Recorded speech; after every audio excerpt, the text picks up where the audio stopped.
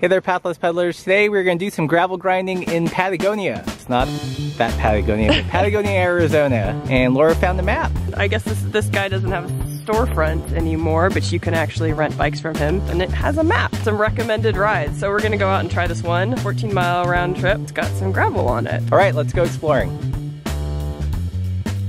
And I get to test out these new tires.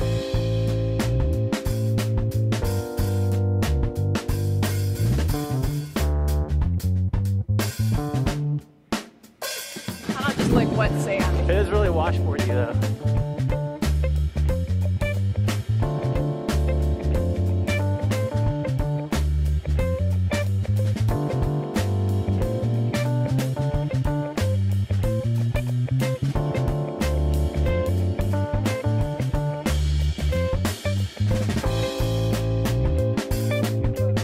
Peanut butter. Oh, Yummy.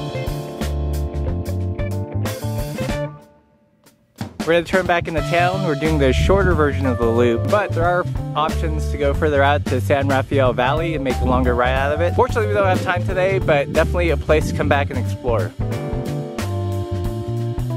So we just wrapped up the ride and that was super fun. Yeah, it was a really neat way to uh, get back and explore and just, uh, you know, be able to see what's actually over there on the other side of the hills. Yeah, there's tons of gravel roads out here and we've really kind of barely scratched the surface. Definitely put Patagonia, Arizona on your list of places to explore and do some gravel riding. Yeah, for sure.